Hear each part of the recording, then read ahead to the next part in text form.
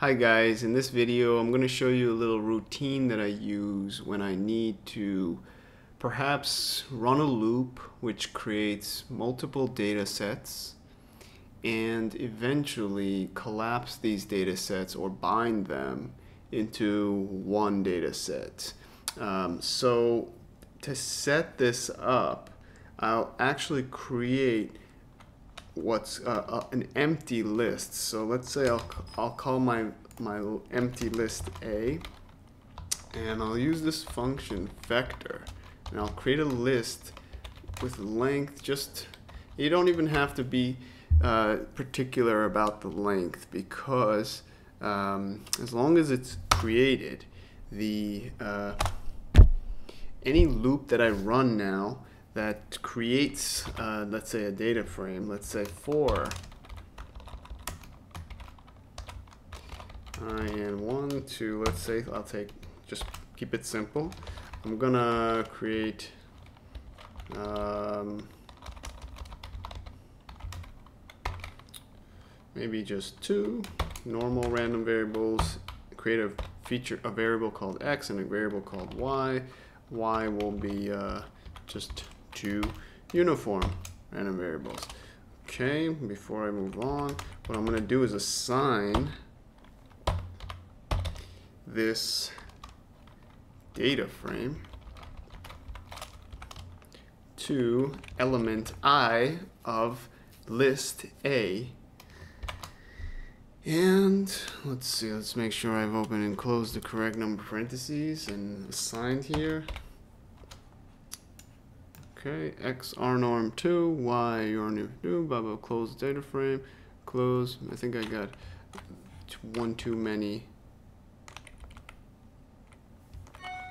Okay, and we're going to close this loop and run this. And let's take a look at A now. So A is now a list with three elements in it. Each of these elements is a data frame. In fact, we can look at the structure of A and we'll see there's a, it's a list of three. Started out as a list of one, an empty list of one. Uh, each of these three are data frames. Each of them uh, pretty much a data frame with variable x and y. Now I can collapse these onto each other by using an r-bind or something.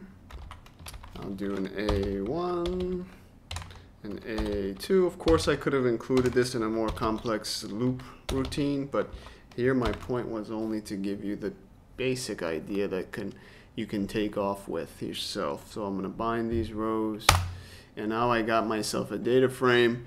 Um, of course, that loop uh, wasn't necessary. I could have just ran uh, six uh, random normals and random uniform variates uh, instead of going through that whole process. But if there is something in the loop that you want to get fancy with, perhaps that changes with each turn of the loop, um, then you might need to run a loop uh, and eventually want to collapse these rows into each other.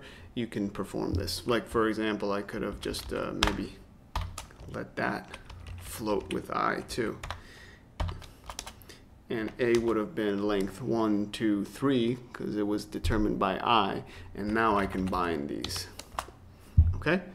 Um, yeah length 6 so uh, that's 1 plus 2 plus 3 so we got the same length but we ran it a little bit different.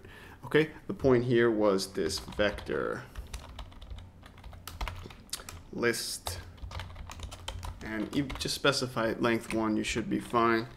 And from here you can create kind of anything you want and then collapse it into uh, uh, or, or make it part of a list. Perhaps you want to run a loop or, or some other uh, uh reason why you would need an empty list to start with Okay, so I hope this was helpful.